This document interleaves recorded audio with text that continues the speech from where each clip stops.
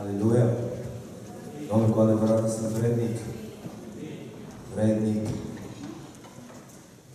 Vreau să rostesc ceva profetic aici.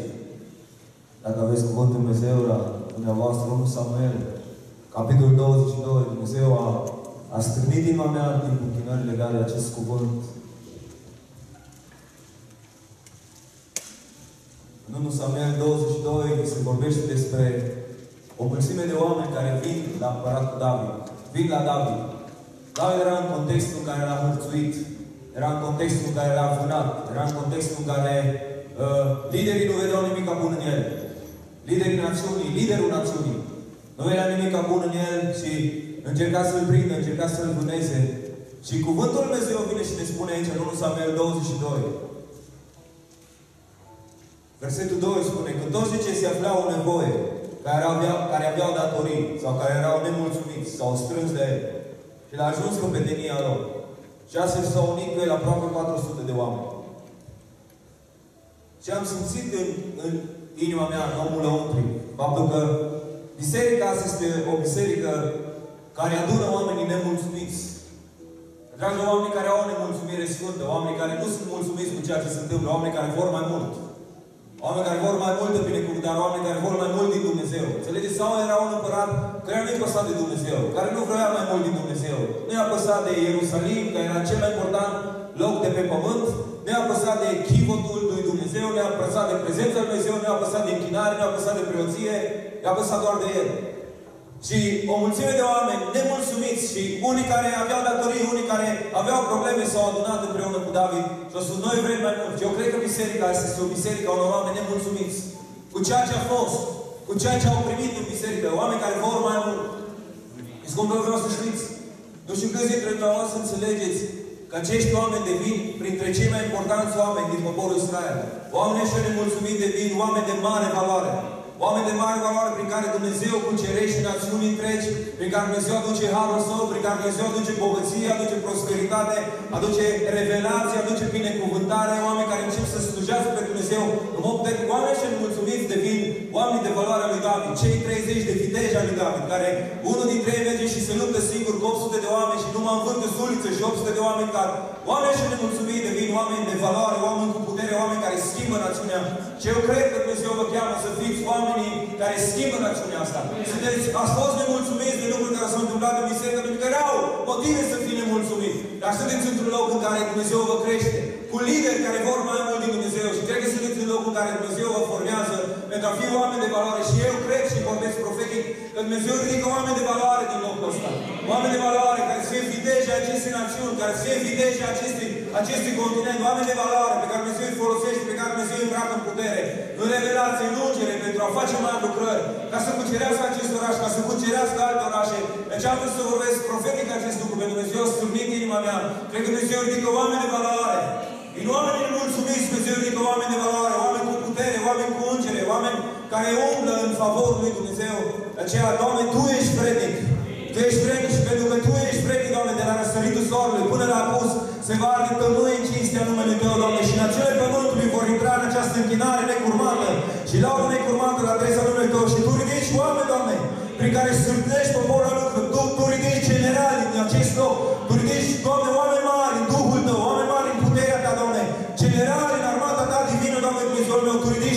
Ridici în acest loc, de aceea binecuvintez acest loc și rostesc binecuvântare peste acest loc și rostesc favor peste acest loc și rostesc ungere peste acest loc și rostesc binecuvântarea Ta divină în acest loc, Doamne, Dumnezeul meu, în numele Lui Iisus.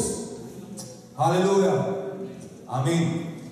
Acum putem să deschidem Cuvântul Dumnezeu la Evanghelia după Matei. Dacă toți sunteți în, într-un studiu în Evanghelia după Matei, vreau să vorbesc despre un, un principiu dumnezeiesc al împărăției. Matei, capitolul 18,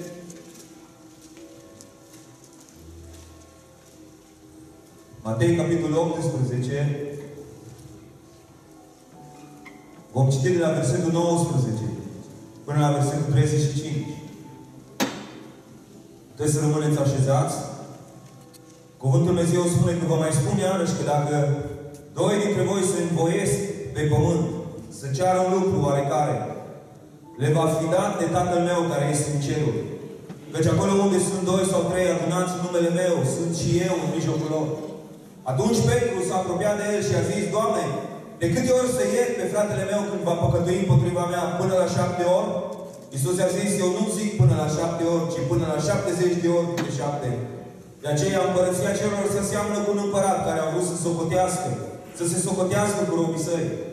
A început să facă socoteală și a adus pe unul care îi datora 10.000 de talanți. Fiindcă el n-avea cu ce plăti, stăpânul le-a poruncit să-l vândă pe el, pe nevasta lui, pe copilul și tot ce avea și să se plătească datoria. Robul s-a aruncat la pământ și s-a închinat și a zis, Doamne, mai îngăduie și îți voi plăti tot. Stăpânul robului acelea, făcându-i se milă de el, i-a dat drumul și a iertat datoria. Robul acela când a ieșit afară, a întâlnit pe unul din tovarășii lui de slujbă, că era de acolo 100 de lei. A pus mâna pe el și îi strângea de gâtul, subruma zicându-i, plătește-mi ce mi-ești dator. Tovarășul lui s-a aruncat la pământ, îl ruga și zicea, mai îngăduie și îți voi plăti. Dar el n-a vrut, ci s-a dus și l-a aruncat în temniță până va plăti datoria. Când au văzut tovară și de cele întâmplate, s-au întristat foarte mult și s-au dus, i-au spus stăpânului lor toate cele petrecute. Atunci stăpânul a chemat la el, pe robul acela și a zis, rob viclean, eu ți-am iertat toată datoria, fiindcă m-ai rugat. Oare nu să gândea să ai și tu milă de tovarășul tău, cum am avut eu milă de tine? Și stăpânul s-a mâniat și l-a dat pe mâna chinuitorilor până va plăti tot ce datora. Tot așa va face și Tatăl meu, cel ceresc. Dacă fiecare din voi nu iar din toată inima pe fratele său. Amin. Doamne, în fața acestor cuvinte, vrem să ne deschidem inimile. Vrem să ne deschidem inimile pentru a primi cuvântul Tău. Pentru că cuvântul Tău este viață. Cuvântul Tău este binecuvântare. Cuvântul Tău ne desleagă, Doamne, de cele vechi. Cuvântul Tău ne îmbracă în ungere. Cuvântul Tău ne duce în favor. Cuvântul Tău ne duce în destin. Cuvântul Tău ne eliberează. Cuvântul Tău ne umple, Doamne. De aceea vreau să cer că aceste cuvinte, Doamne, din această dimineață să aducă binecuvântare și revărsare masivă de har și de ungere și de putere dumnezeiască peste această biserică. Doamne, dă-ne un duc de înțelepciune și de descoperire. Dă-ne un duc de înțelepciune și de descoperire, Doamne, vreau să-ți cer să legi mintea și inima noastră la revelația cuvântului Tău și o măsură din puterea Ta și o măsură din viața supranaturală să fie turnată noi prin cuvintele Tale. În numele Domnului Isus. Amin. Amin. Atunci când Dumnezeu ne-a creat, Dumnezeu a pus mai multe sisteme în noi care funcționează împreună. Este sistemul digestiv, care funcționează, indiferent că ne dăm seama sau nu ne dăm seama, avem un sistem digestiv care funcționează. Este sistemul respirator, este sistemul de circulație sau circulator și în dimineața asta vreau să vă fac conștienți că Dumnezeu lucrează în sistem. Și este un sistem respirator pe care îl avem, cu ajutorul căruia respirăm și atunci când inspirăm, inspirăm oxigen și dăm afară dioxid de carbon, dragilor, în timp ce inspirăm, sistemul circulator duce la fiecare celulă acest oxigen de care avem nevoie ca să putem să trăim. Și cu ajutorul sistemului respirator trăim oricât de sănătos ai fi. Auziți? Oricât de sănătos ai fi, dacă pentru 5 minute ți se strică sistemul respirator, ești un om mort. Ești un om mort. Și în pasajul ăsta în care am citit este un lucru în care Iisus Hristos vrea să ne descopere că binecuvântarea unui biserici vine în timp ce trăim într-un sistem care trebuie să funcționeze. Și acesta este un sistem de respirație al bisericii.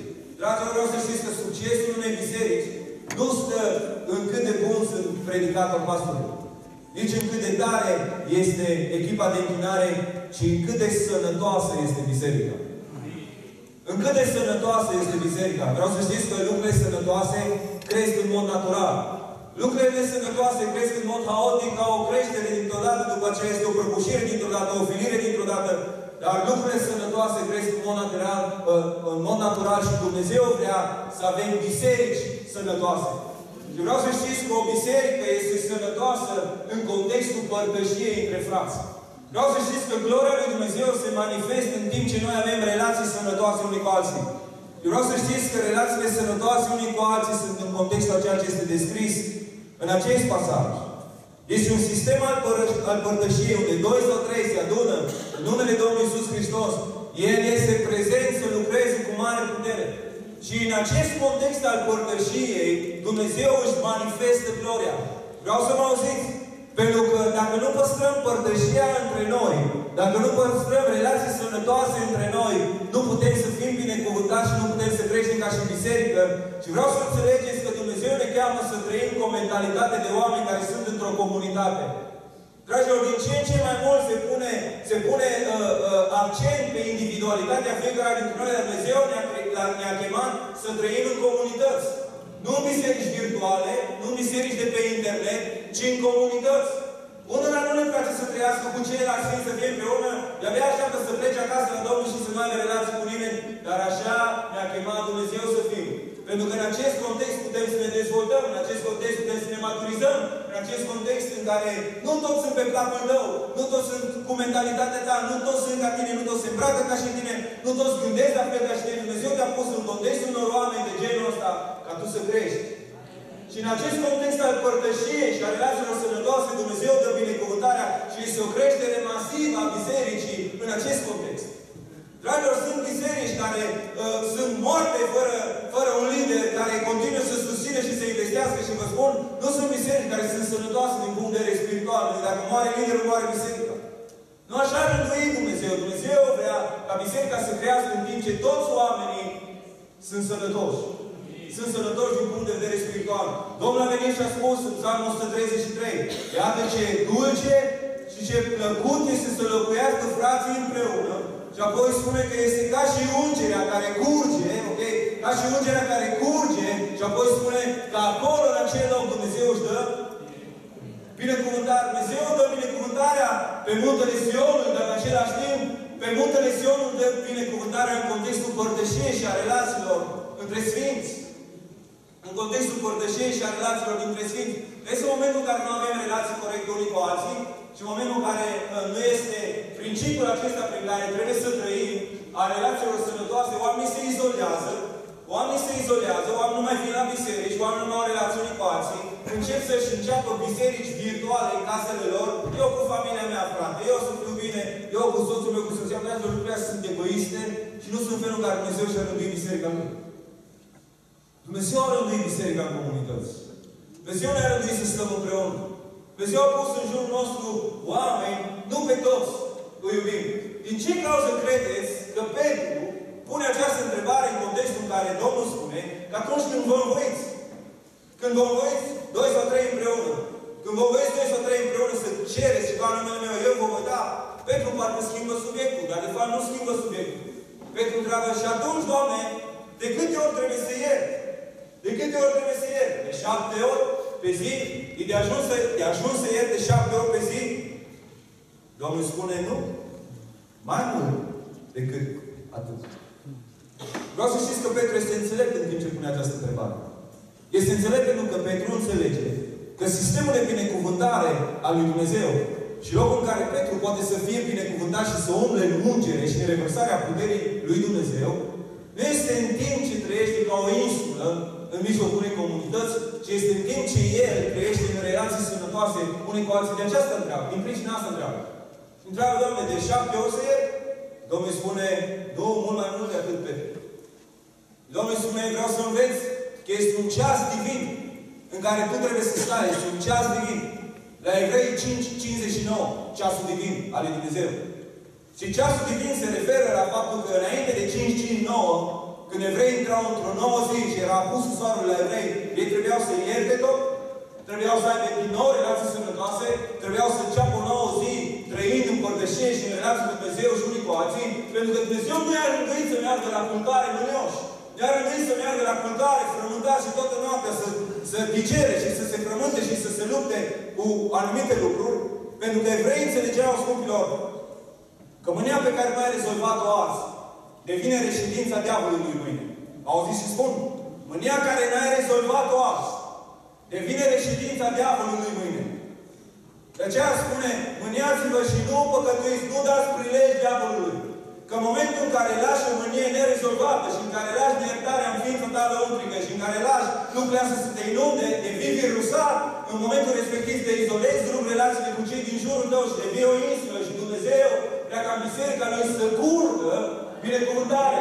Dumnezeu vrea să curgă binecuvântare. Și dă un principiu extrem de important. Ceea ce curge în tine, din cerul, trebuie să curgă prin tine, în alții. Ceea ce curge în tine trebuie să curgă prin tine. Dragilor, este un principiu Dumnezeu. Dacă curge, prin, dacă curge în tine Harul lui Dumnezeu, prin tine trebuie să curgă tot Harul lui Dumnezeu. Când suntem la anahie, ne place să strigăm după mila lui Dumnezeu pentru noi. Dar când alții ne greșesc, ne place să strigăm după dreptatea lui Dumnezeu pentru alții. Nu, dragilor. Ceea ce curge în noi, mila lui Dumnezeu, trebuie să curgă prin noi înspre alții. Nu o lăsa, nu o lăsa ca diavolul să-și facă reședință în ființa ta prin mânie, prin neiertare. Pentru că vă spun, asta e ceea ce se întâmplă. În al doilea rând, în al doilea rând, știți, neiertarea e o treabă pe care o bei tu în timp ce aștept să moară celălalt. Înțelegeți? Neiertare ca și cum mai bea o travă și aștept să moară celălalt. Aștept să se întâmple celuilalt lucru rău, dar tu bei o travă. Neiertarea este o travă pentru suflet. Și vă spun, cel mai mare dar pe care îl putem face nouă înșine este să iertăm. Este un dar pe care ți-l faci ție însuți atunci când tu ierți. Acum, în acest pasaj, în acest context, uh, pentru că Pavel, uh, pardon, pentru că Petru nu înțelegea ceea ce vrea să-i spună Domnul Iisus Hristos, pentru că Petru întreabă, de câte ori să Doamne, sunt uneori din ăștia care mă ating la nervul ăla cel mai sensibil și uneori îmi vine și vă aduți aminte că Petru n-a fost un om uh, ușor de modelat. Nu prea vrea să ai în Consiliul Bisericii. Înțelegeți? Pentru că Petru uneori a făcut lucruri încât Domnul trebuie să-i spună înapoi a mea, satanul sau uh, în altă circunstanță, din pricina zelului dai urechea uneia dintre slujbașii marului preot și Domnul Iisus trebuie să meargă și să spună Petre, nu așa se face și să ia urechea de jos și să pună la loc. Dar slujbașul marului preot să spună nu așa lucrează, nu așa funcționează împărăția mea. Și Petru știe că el este unul care uneori așa pe accelerează, înțelegeți când trebuie să fie relax. Și ea se întreabă, Doamne, de șapte ori, de șapte ori trebuie să ierți. Domnul spune, nu, de 70 de ori câte șapte Petru și vreau să-ți dau o pildă, pentru că uneori nu prea înțelegi cum funcționează sistemele mele. Vezi, pildele sau parabolele sunt ilustrații prin care el simplifică niște adevăruri profunde. Astea sunt pildele. Sunt niște ilustrații prin care Dumnezeu simplifică niște adevăruri profunde ca să ne facă să înțelegem cum operează împărăția lui Dumnezeu. Și ce spune aici, următoarea pildă, care o să stăm puțin, Domnul vine și ne descoperă niște adevăruri profunde folosindu-se de o ilustrație simplă. Și spune că împărăția lui se aseamănă cu un împărat care a făcut socoteală cu robii săi. Vă aduți aminte lucrul ăsta, nu? A făcut socoteală cu robii săi și a dus pe unul care datora 10.000 de galbe. Sau 10.000 de talanți. Și Dragilor, nu știu dacă știți ce înseamnă 10.000 de talanți. 10.000 de talanți este echivalentul la 150 de ani de muncă. Un, un talant avea 6.000 de dinari. Și un dinar era plata pe, pentru un soldat roman pe o zi. Ok? De 6.000 de dinari era un talant. Și el avea 10.000 de talanți datorie. Și un dinar era plata unui, unui soldat roman care erau extrem de bine plătiți în societatea de atunci pe o zi. Dacă faceți calculele, omul ăsta avea datorii serioase. Avea datorii serioase. Și din pricina asta, pentru că avea datorii serioase, Domnul vine sau împăratul vine și spune, auzi, ia pe el, ia familia lui, ia soția lui, ia copiii lui, vinde cu totul. Tot ce au, vinde cu totul, vinde cu totul și să recuperezi ceva din datorie. Și când aude robul ăsta, începe și plânge și uh, strigă și se, probabil se pune pe genunchi și începe să urle și cumva îl impresionează pe împărat. Dar vreau să vă uitați la un detaliu în text care vorbește despre noi. Ce i-a cerut? Vreau să vă întreb ce i-a cerut robul împăratului. Ce a cerut? Să mai îngăduie puțin. Doamne, mai îngăduie-mă puțin. 150 de ani? Mai îngăduie puțin. Și aici vorbește despre mila și îndurarea lui Dumnezeu față de noi. Pentru că Dumnezeu ne-a dat ceea ce a cerut. El a cerut puțină îngăduință. Știa că nu poate să plătească. Dar a mai cerut un pic de îngăduință. Și împăratul a spus, a spus ia de toată datoria. Dragilor, asta este despre noi. Nu știu dacă înțelegeți, dar neiertarea oprește binecuvântarea nu doar de peste tine, ci oprește binecuvântarea din casa ta. În momentul în care tu nu trăiești în locul în care Dumnezeu vrea să fii, nu doar tu ești afectat. Familia ta, copiii tăi devin robi. Devin robi. Și când trăiești neiertare, nu doar tu ești afectat, ci comunitatea în care tu te afli este afectată.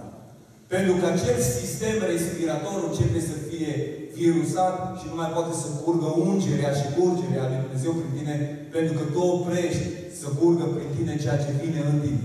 Înțelegeți? Și în momentul respectiv, biserica devine extrem de nesănătoasă. De aceea Dumnezeu mi-a vorbit să vă spun despre lucrul ăsta, pentru că știu că sunteți o comunitate care îl doriți pe Dumnezeu. De când am venit aici, am văzut foamea voastră, dorința voastră, pasiunea voastră după închinare, după laudă, după lucrul Lui Dumnezeu și lucrurile sunt extrem de bune, dar trebuie să înțelegi că biserica funcționează într-un sistem de genul pe care vi l-am spus și că noi suntem chemați să avem relații sănătoase ca să curgă ungerea, să curgă harul, să curgă binecuvântarea, să curgă favorul lui Dumnezeu. De aceea, Gândiți-vă că atunci când ai nevoie de iertare, ai nevoie de iertare masivă și Dumnezeu a venit și ne-a iertat mult mai mult decât noi ne imaginăm că Dumnezeu ne-a iertat. Știți, este o versiune a lucrurilor pe care Dumnezeu ni le-a iertat, pe care o spune oamenilor. Nu? Este o versiune pe care o spune oamenilor. Și ne place să spunem cât de mult ne-a iertat Dumnezeu, dar oricât de mult încerci să hiperbolizezi ceea ce ți-a iertat Dumnezeu, niciodată nu o să ajungi să spui tot ce ți-a iertat Dumnezeu.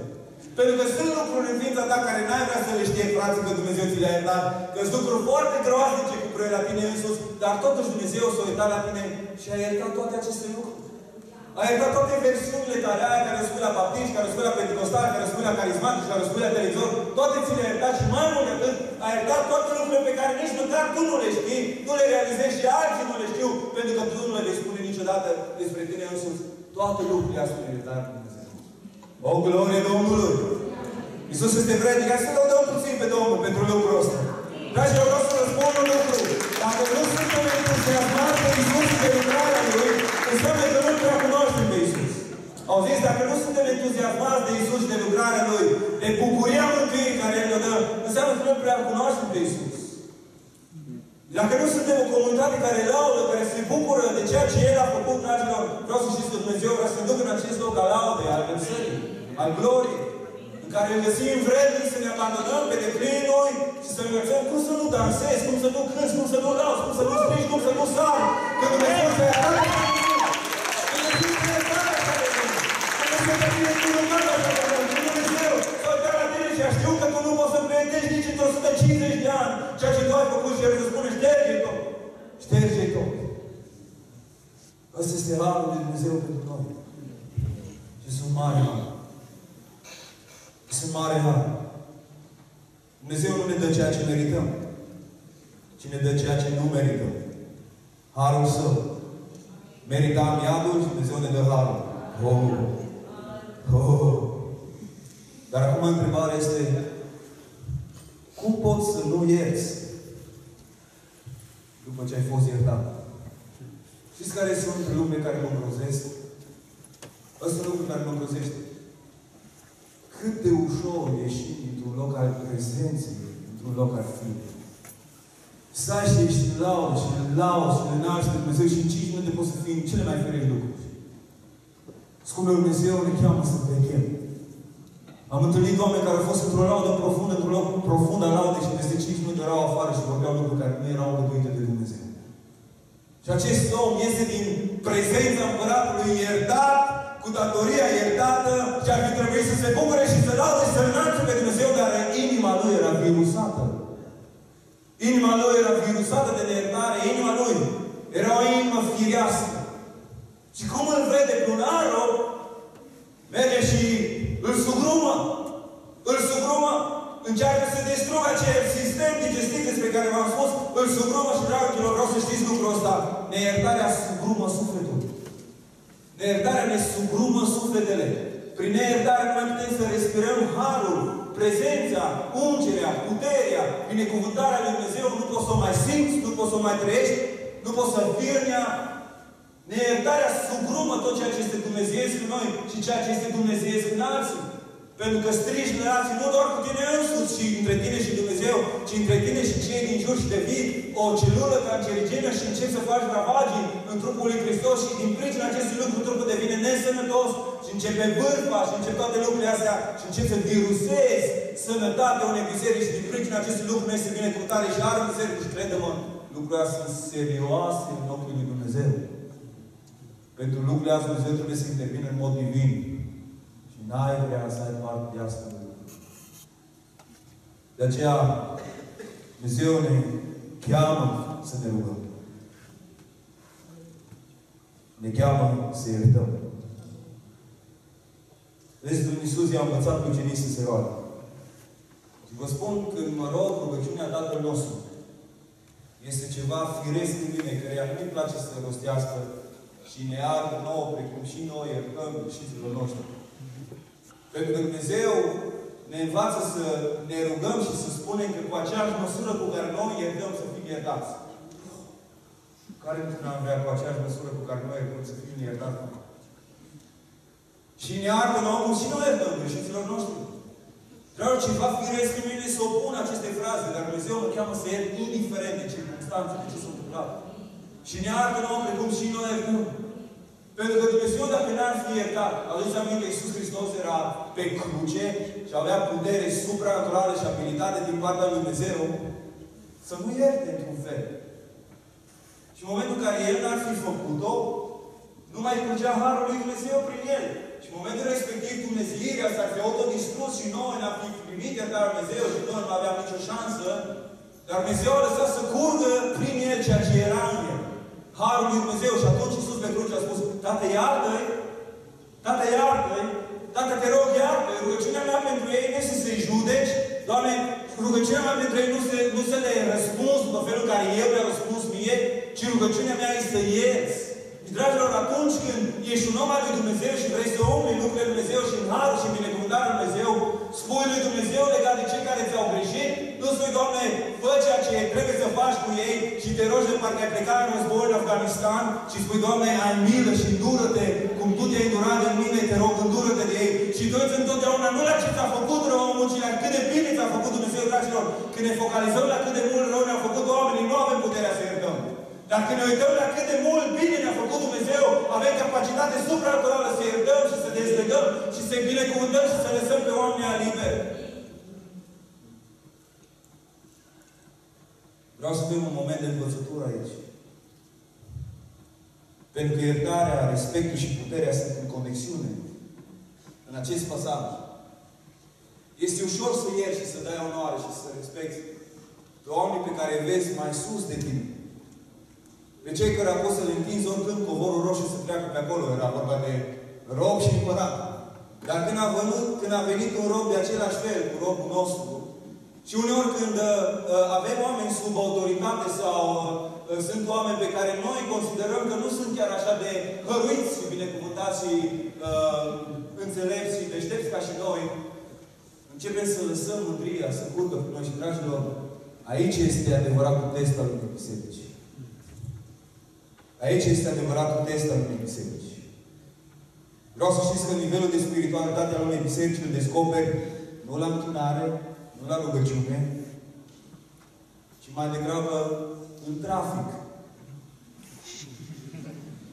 În parcarea bisericii. La 12 jumate, după ce s-a terminat programul bisericii și ești cu familia la masă, cu privire la ce povestești despre frați și surori, despre ce s-a întâmplat în biserică, acolo se vede nivelul de spiritualitate al bisericii. Auziți ce spun? Dragi, nivelul de spiritualitate al unei biserici nu se vede neapărat atunci când suntem cu mâine pe sus la închinare, când este un context clar al, fr- al fraților. Este ceva normal ca în mijlocul fraților să dau să binecuvântezi pe Dumnezeu, pentru că ești cu cei sfinți. Dar cum te comporți în trafic când cineva vine și se bagă în fața ta și îl binecuvintezi și spui, Doamne, slavă Domnului. Mă încerci. Vreau să-l binecuvântez pe omul ăsta. Vedeați înaintea mea. Dragilor, vedeți? Vreau să știți că spiritualitatea noastră se vede în lucrurile astea. Se vede în lucrurile astea. Se vede în cât de mult poți să te abții atunci când ai avea dreptul să faci alte lucruri. Vedeți? Spiritualitatea noastră se vede în felul în care ne comportăm cu femeia de servici, se vede în felul în care ne comportăm cu angajații noștri, se vede în felul în care ne comportăm cu cei din jurul nostru, pentru că este ușor să dai onoare și cinste unuia care, pe care îl privești mai sus și când vii slujitorii lui Dumnezeu să spui, da, uite, slujitorul lui Dumnezeu, fac orice lucru pentru ei. Dar, dragul Dumnezeu vrea să ne vadă cum ne comportăm cu aia pe care nu îi privim așa de înalți cum ne privim pe noi înșine. Acolo se vede adevăratul nivel de spiritualitate al unui om, pentru că vreau să știți că fiecare om creat după chipul și asemănarea lui Dumnezeu este vrednic să fie onorat. Indiferent că este cercetător sau este prinț, că este țăran sau este demnitar sau ce este bogat sau sărat, fiecare om este demn de respect și de onoare și vreau să știți că Dumnezeu respectă și onorează pe fiecare om. Ca și creația Lui. Și atunci noi trebuie să facem exact aceleași lucruri. Exact aceleași lucruri. Exact aceleași. Bun. Acum, vreau să stăm în dimineața asta înaintea lui Dumnezeu. Vreau să stăm înaintea lui Dumnezeu. Și vreau să vă chem pe fiecare dintre dumneavoastră a, a analiza cu adevărat Vreau să știți că Dumnezeu mi-a vorbit că unii dintre voi trebuie să vă iertați pe voi și când te focalizezi la faptul că n-am fost destul de bun, Doamne, n-am, îmi pare rău că n-am lucrat așa cum ar fi trebuit să lucrez și încep să accentez, să supraccentez neputința ta în fața potenței lui Dumnezeu, ești greșit în gândire. Pentru Dumnezeu ne cheamă să ne uităm la puterea Lui, nu la inabilitățile noastre. Când ne uităm la inabilitățile noastre mai mult decât la puterea Lui Dumnezeu, vreau să știți că ajungem în locuri în care ne plângem, ajungem în locuri în care îl facem pe Dumnezeu mai mic decât este El însuși și necredința se rădăcinează în viețile noastre. De aceea unii dintre noi trebuie să vă iertați pe voi înșivă. Și trebuie să te ierți pe tine însuți. Și să te încrezi de acum mai mult în Dumnezeu decât în tine. Dragii trebuie să ne încredem mai mult în Dumnezeu decât în noi. Trăim într-o societate care ne învață să ne încredem mai mult în noi decât în Dumnezeu, dar noi trebuie să ne încredem mai mult în Dumnezeu decât în noi. Pentru că puterea noastră și favorul nostru este la Dumnezeu. Succesul nostru și binecuvântarea noastră este la Dumnezeu, de aceea trebuie să ne încredem mai mult în El decât putem să ne încredem în noi. Și chiar și atunci când e slab, o să te la Dumnezeu și să spui, Doamne, eu sunt slab, eu sunt în aceste locuri slabe, dar Tu ești puternic, Doamne, și pe Tine te chem să vii și să încerci și să lucrezi în neputința mea. Doamne, ajută neputințele mele și neputința mea transformă în mod supranatural în putere divină prin Duhul Tău ce sunt. De aceea trebuie să ne iertăm pe noi aici. În același timp, trebuie să iertăm pe cei din jur. Dragilor, atâta vreme când nu iertăm pe cei din jurul nostru, îi dăm, îi dăm legal, în mod legal celui rău drept să lucreze împotriva noastră. Să distrugă viețile noastre. Să facă rău vieților noastre. Este o poluare a viitorului nostru. Faptul că trăim încă în trecut. Neiertare înseamnă să trăiești în trecut. Și trăind în neiertare, te înlănțuiești după ce ai primit libertate. Omul ăsta a primit libertate din partea lui Dumnezeu a primit libertate din partea lui Dumnezeu și El singur s-a înlănțuit după ce a primit libertate pentru că a putut să ierte. Deci Dumnezeu ne-a făcut ființe libere prin har. Prin har ne-a făcut liberi.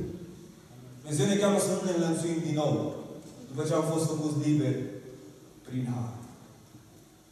Liberi prin har. De aceea dă drum. Dă drum. Și un alt lucru. Am învățat de curând principiul ăsta.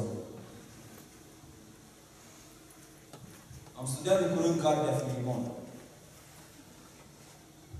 Foarte frumoasă cartea Filimon. Plină de principii glorioase.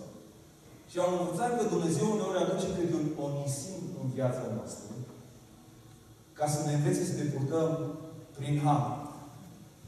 Pentru că Vedeți că noi mergem înaintea lui Dumnezeu și cer Dumnezeu Harul lui Dumnezeu și spune, Doamne, dă Har, Doamne, uite, am nevoie de mila Ta, Doamne, e gravă situația cu mine, de aceea am nevoie de mila Ta. Și Dumnezeu vine și spune, ok, o să-ți aduc un omnisim în viața ta, ca să înveți ce înseamnă că eu să dau Har. Vreau ca tu să dai Har. La fel cum eu dau Har, vreau ca tu să dai Har. Și vreau să știți că oamenii duhovnici zidesc podul, nu zidul. Un om duhovnicesc întotdeauna va zidi podul între el și ceilalți. Va zidi relații, va zidi conexiuni. Oamenii lui Dumnezeu nu zide ziduri.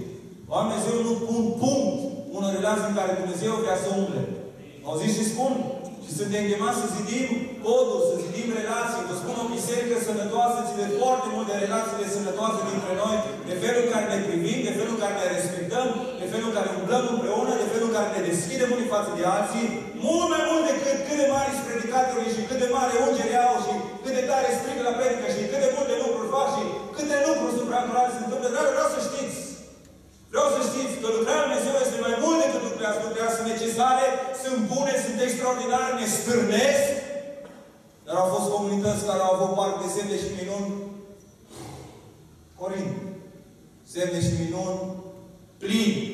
Plin. Profetic, plin supranatural plin, dar pentru că nu aveau relații sănătoase, și unul era lui Pavel, unul era lui Chip, unul era lui Bușucare, lui Apollo și se certau unii cu alții. Era o comunitate în care au fost penetrați din punct de vedere spiritual de cei rău și erau vulnerabili față de orice, o, de, o mulțime de lucruri. Dragilor, creați relații sănătoase, nu voi în biserica asta. Vă spun că o să creșteți cum, o să creșteți cum nu vă imaginați dacă zidiți niște relații sănătoase între voi. Dacă la tineret sunt relații de respect, de dragoste, de onoare, în care sunteți unii pentru alții, în care mergeți și vă onorați unii pe alții, în care nu lăsați spiritul de bagiocură și de șmecherială de neasă tinerească, care este lumească, să fie între voi și vă dați onoare și respect unii față de alții. Vă spun, o să creșteți, pentru că toți suntem din țara asta, vor să meargă într-o comunitate în care sunt respectați, în care sunt iubiți, în care sunt uh, uh, îmbărbătați. Dragilor, tinerii n-au nevoie de toți tinerii fug. Și tu fugi de un loc în care ești bagiocorit, de care eu se uite la tine unul și așa spune, ia uite.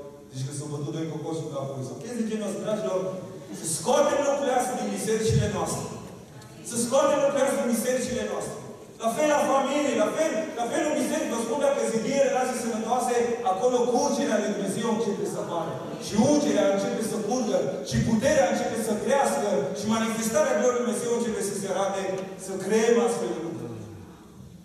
Să legăm relații de dragoste sfântă. Haideți să stăm înaintea Domnului, fiecare dintre Haideți să stăm înaintea Domnului.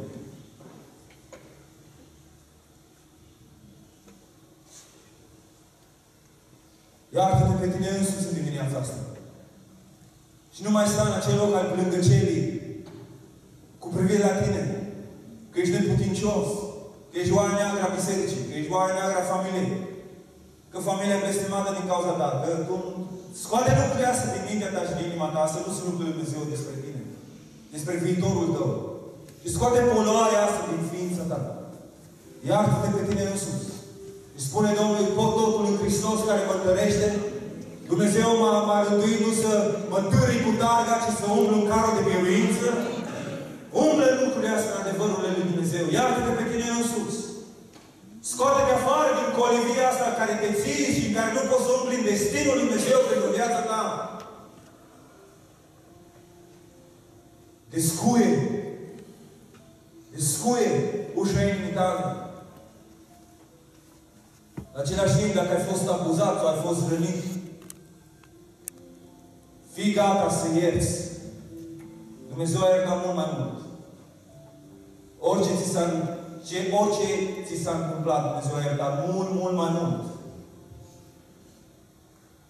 Și este un cuvânt al Dumnezeu și, dragilor, vreau să știți că Dumnezeu nu se joacă. Este un adevăr biblic. Dacă voi nu veți ierta, Domnul spune, nici eu nu vă voi ierta.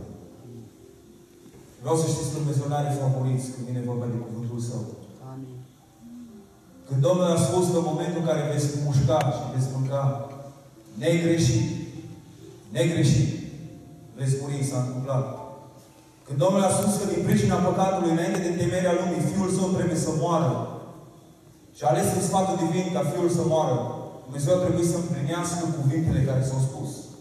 Momentul în care Isaia și toți prorocii au scris, au scris că Fiul Dumnezeu trebuie să pătinească și trebuie să fie brăzdat spatele și toate lucrurile astea, cuvântul s-a întâmplat pentru că Dumnezeu a spus și dacă Dumnezeu a spus, dacă tu nu ești pe fie ta, se va întâmpla acest lucru. De aceea, desteagă! Desteagă!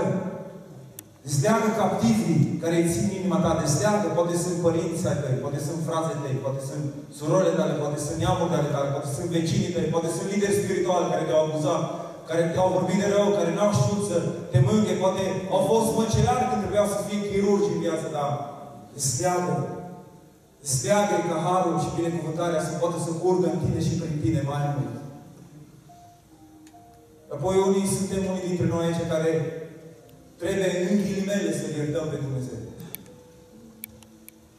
Pentru că unii dintre noi mințiți de ce e rău, punem în cârca lui Dumnezeu ceea ce nu ar trebui să punem în cârca lui. Dar sunt oameni care pun în cârca lui Dumnezeu și au impresia că Dumnezeu este de drept și că Dumnezeu este bun, dragilor. Trebuie să ierți pe Dumnezeu, în ghilimele. Lucrurile astea nu sunt adevăr. Oriunde este scris în Scriptură, Dumnezeu este pentru favor. Primul lucru care l-a făcut Dumnezeu, i-a binecuvântat pe oameni. I-a binecuvântat. Dumnezeu este pentru binecuvântare. Dumnezeu vrea să binecuvânteze. Dar sunt legi divine pe care Dumnezeu nu le va încălca. Nu le va încălca. Haideți să ne rugăm. Și vreau să ne rugăm. Vreau să ne rugăm pentru comunitatea aceasta. Pentru Biserica Filadelfia. Haideți să ne rugăm ca Dumnezeu să ridice relații sănătoase. Relații sănătoase unii cu alții, cu alte biserici. Când ne privește pe noi, să fim în pace cu toți oamenii și să avem relații sănătoase, să zidim poduri. Să zidim poduri. Să zidim poduri, nu ziduri. Asta e o biserică chemată Filadelfia. Chemată să zidească poduri. Chemată să zidească relații. Chemată să aibă relații sănătoase cu ceilalți. Haideți să ne rugăm. Haideți să ne rugăm pentru noi niște. Dragilor, relații sănătoase ale bisericii vin în timp ce noi avem relații sănătoase. Și fiecare dintre noi suntem chemați să zidim relații sănătoase.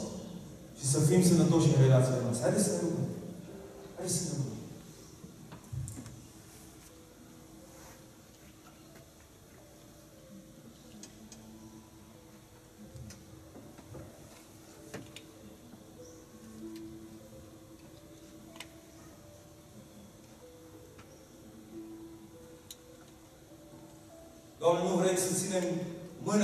Fraților noștri. Nu vrem să sugrumăm relațiile cu cei din jur.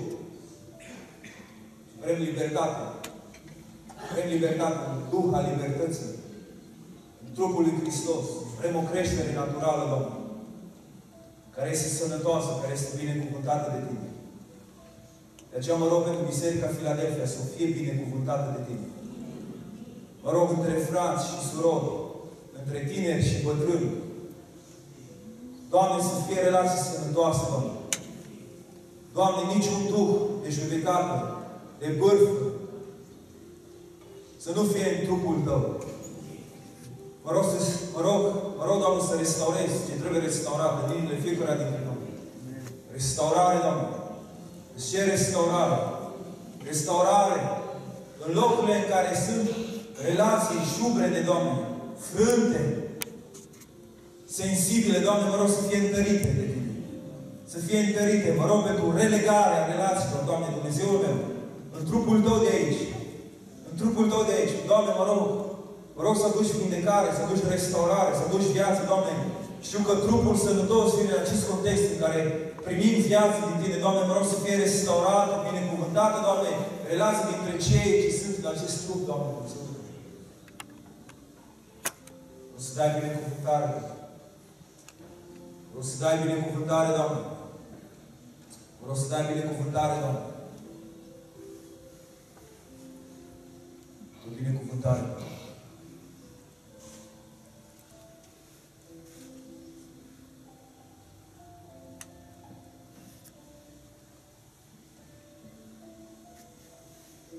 Mă rog pentru relația acestei biserici cu celelalte biserici. Doamne, Tu în mod suveran o să restaurezi Tu. Tu poți să schimbi inimi. Tu poți să faci ca trupul lui Hristos din Baia Mare să vină în unitate. Tu poți să-i faci pe lideri să înțeleagă că ungerea și curgerea vine în locul unității. Doamne, asta este lucrarea Ta dumnezeiască, Doamne. Dar mă rog pentru această biserică să fie o biserică gata să zidească podul. Gata să zidească podul. Doamne, mă rog să lucrez. Mă rog să lucrez. Doamne, știu că ceea ce am vorbit azi este în inima Ta, pentru ca biserica aceasta să crească. Mult, mult mai mult decât priceperea. Îți mulțumesc că Tu ai în vedere o creștere sănătoasă și puternică a acestei biserici. Tu ai în vedere să ridici în acest loc lideri și oameni de mare valoare în împărăția Ta, în lucrarea aceea mă rog să sufli viață și binecuvântare. Doamne, vreau să stau împotriva oricărei împotriviri omului firesc, față de adevărul Tău, față de cuvântul Tău. În numele Domnului Isus, care are putere și autoritate, își cer, Doamne, deslegare, Doamne, deslegare, deslegare în domeniul spiritual, deslegare în domeniul natural, Doamne. În numele Lui Isus, Doamne Isus, pentru că Tu ești autoritatea supremă, Doamne. Își cer, Doamne Dumnezeul meu, să dai la o parte orice obstacol și orice împotrivire, Doamne.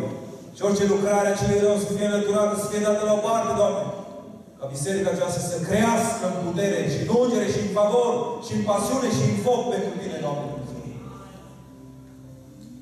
În numele Lui Iisus, fă acest lucru. Fă acest lucru.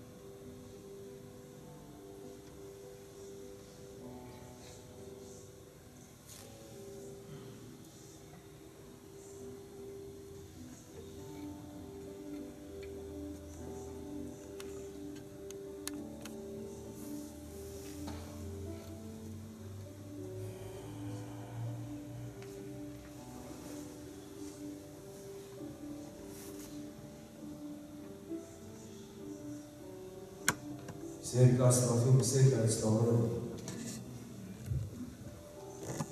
Oaza vindecării. Trupul lui Hristos. Vor veni aici oameni acuzați. Oameni loviți. Vor găsi aici, acest loc pace. Vor găsi iubire. Vor găsi dragoste. Vor găsi acceptare. Mai mult decât s-a întâmplat până acum. Biserica asta va restaura. Biserica asta umblă numele profetic care l-a O,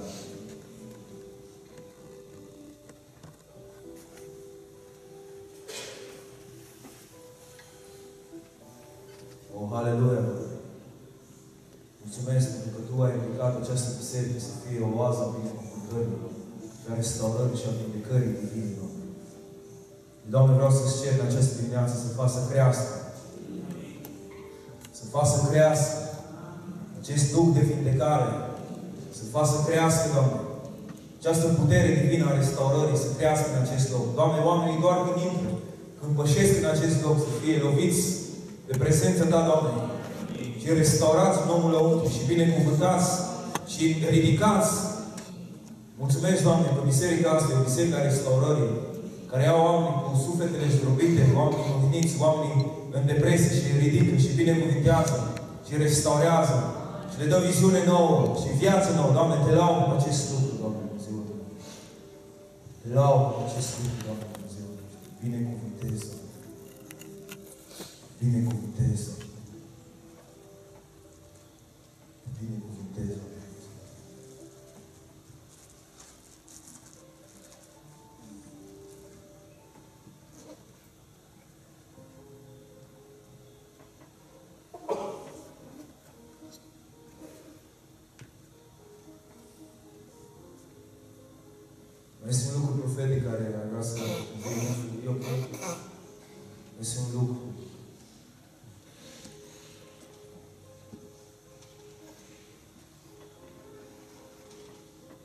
Vedeți, dragi și sorori, am fost rânduiți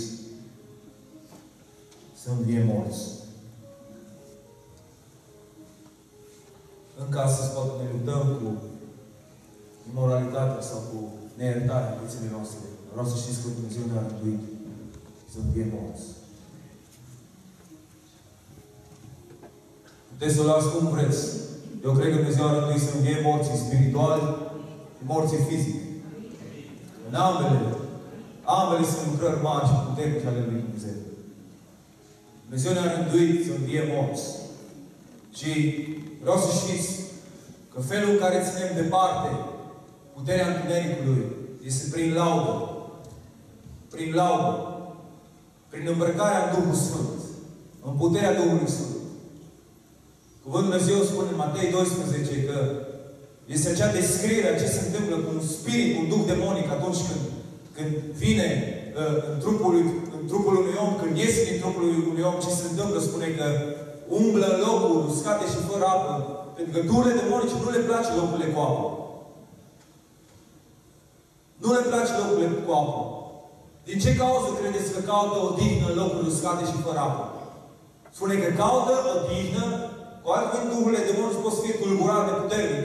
Caută o dignă în locuri uscate și fără apă, pentru că simbolul Duhului Sfânt este râul de apă vie. Spune că din voi, când Duhul Sfânt vine peste voi, sunteți umplut de râu de apă vie și acolo este prezența Duhului, acolo este libertatea, acolo întunericul nu poate sta. De aceea Dumnezeu ne cheamă ca după ce avem casa curată și împodobită, să fim umpluți de prezența Duhului Sfânt. Să nu o lăsăm curată și împodobită, ci să ne umplem de prezența Lui Dumnezeu. Să ne umplem în mod constant de prezența Lui Dumnezeu. Vreau să știți că acolo diavolul nu are autoritate să intre unde este prezența și puterea Duhului Lui Dumnezeu. De aceea fiți plini de Duh. Fiți plini de Duh și vreau să știți că lauda atrage prezența și ungerea și puterea Lui Dumnezeu. De aceea fiți o biserică a laudei. Dragilor, prin laudă au cucerit mari puteri. Prin laudă împărăția au fost date la o parte. Prin laudă întunericul a fugit. Fiți o biserică a laudei extravagante de Lui Dumnezeu. Pentru că în acest loc, vă spun, diavolul poate să aibă putere acolo unde se laudă. Mai mult, Diavolul are alergie la laudă. Este alergic la laudă. Vă spun sigur. Diavolul are alergie la laudă. De aceea când vreți ca diavolul să aibă alergie, lăudați-l pe Domnul. Dragilor, lauda, lauda deschide o atmosferă spirituală dumnezească în care binecuvântarea curge prin laudă. Domnul locuiește în mijlocul laudelor. Și acolo unde este laudă, depresia pleacă. Depresia pleacă. Acolo unde este laudă, mântirea pleacă. Din pricina asta este o locuire a unui Duh mâhnit, a unui Duh apăsat, cu un Duh de laudă, cu o haină laudă. De aceea fiți o biserică a laudă, o biserică care laudă pe Dumnezeu, care sunteți extravaganți în laudă, în adorare înainte de Dumnezeu. Pentru că vă spun că în locurile astea începem să fim împuterniciți și plini de Dumnezeu să stăm în fața întunericului și întunericul să fugă din fața noastră. Din pricina aceasta, această ungere davidică, ungere care era peste David, când David începea să laudă pe Dumnezeu, fugeau Duhurile întunericului, nu puteau să stea în prezența laudei, aveau alergie la laudă. De aceea avem nevoie de oameni în laudă. Și cred că Dumnezeu ridică oameni în laudă deci a fost un, un, o, o, o revărsare a Harului în acest loc, în laudă extravagantă la, la adresa Lui Dumnezeu, care s-a răspândit prin România. Din Baia Mare s-a răspândit prin România. Vezi asta cu piesa asta cu leul din Iuda, ok? Care are ritmuri de aici, din Maramureș. Este unul dintre cele mai cântate piese din România și nu doar în bisericile carismatice. Am, am auzit-o în multe stiluri și multe feluri pe la biserici pentecostale, sincer, pe la fanfară, pe la... Sincer, am auzit-o cântând o fanfară. Nu vă puteți imagina. E o piesă de laudă, nu de fanfară. Înțelegeți? E o piesă în care Dumnezeu manifestă pur și simplu puteri supranaturale extraordinare. Și aici, aici s-a născut ceva. De aceea continuați ceea ce s-a născut aici. Continuați ce s-a născut aici. Care vă spun că în mijlocul laudelor se întâmplă lucruri extraordinare. Tinerilor, David a fost promovat împărat în trecerea laudelor. Nu din pricina bunătății. David avea doar câteva beguitoare în jurul lui, îl lăuda pe Domnul. Și la 16 ani, la 16 ani, nu când avea 50 de ani și era cu lucrurile astea, cu lucruri cer de la Domnul, nu, la 16 ani, când avea doar o audiență de oise, Domnul a spus, am găsit pe David, Domnul după inima mea. De ce cauză? Pentru că lăuda pe Dumnezeu fără să fie interesat de câți oameni vin, câți oameni apar. Nu, dragi, nu era interesat de scenă, ci era interesant să laudă pe Dumnezeu. Să ne învățăm să lăudăm pe Dumnezeu. Știți când? Când suntem în groapa, în fundul groapei ieri, atunci să lauzi pe Dumnezeu. Nu după ce se promis Dumnezeu, Doamne, dacă mă scot, oh, ce sau să te lau. Nu, dragilor, când ești acolo, când începi să lauzi, începi să se întâmple supranaturalul, începi să aibă loc. Exod 15 cu 11 spune, spune, cine este ca tine între Dumnezeu și spune, în mijlocul laudelor făcător de minuni. În Cornelescu nu i tradus bine, ci în mijlocul laudelor făcător de minuni. Cu alte cuvinte, în timp ce lăudați pe Domnul aici, undeva la spital, oameni să se ridice din patul din pricina laudelor noastre. Dar trebuie să avem o altă dimensiune a închinării noastre, pentru că închinarea noastră nu se oprește în viața patru ziduri sau câte sunt aici. Nu se oprește aici în sala asta, înțelegeți? Prezența Lui Dumnezeu nu poate fi conținută de un loc. Prezența Lui Dumnezeu se extinde peste oameni, peste oraș, începe să fie inspirat în mod divin, începe să laude, începe să se ridice, organele de față, faptelor, am experimentat meargă cineva să pună mâine peste ei. În mijlocul lor s-au ridicat în picioare, s-au scuturat de bolilor și au fost liberi în mijlocul laudelor. În mijlocul laudelor. Deci ar fi sub biserica laudelor. Haideți să ne ridicăm să lăudăm câteva clipe pe Domnul. Așa să facem antrenament. Hai să lăudăm pe Domnul, dragilor. Nu avem nevoie de instrumente neapărat.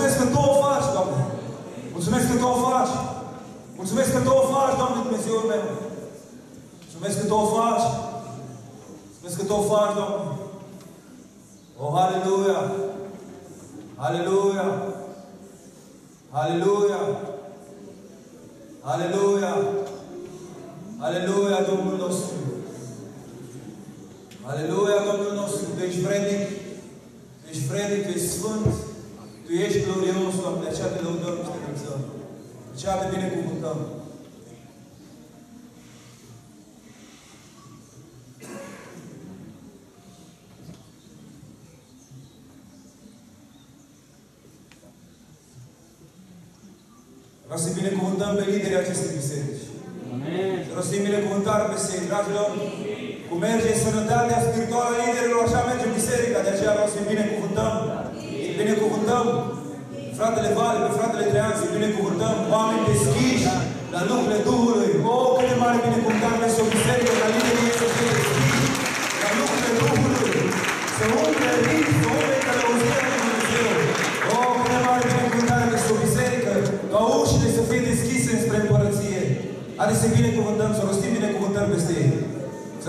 binecuvântări peste ei, peste liderii de grupuri mici, să rostim binecuvântări. Să rostim binecuvântări peste cei de la tineret, să rostim binecuvântări peste echipa de închinare, să rostim binecuvântări peste cei de la ordine, să rostim binecuvântări. Haideți să binecuvântăm, să ne chemați să binecuvântăm. Ce curge noi, să curgă prin noi dimineața asta. Să binecuvântăm, să binecuvântăm, să binecuvântăm. Haideți să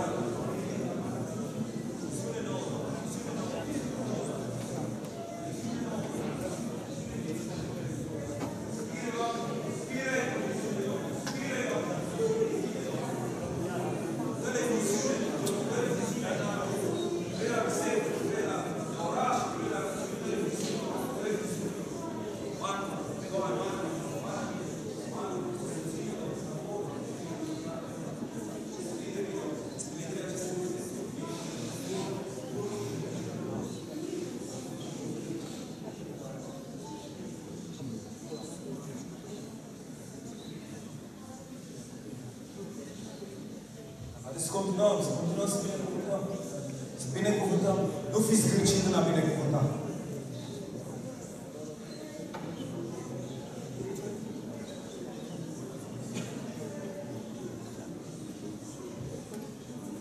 Oamenii care binecuvântează sunt oameni binecuvântați.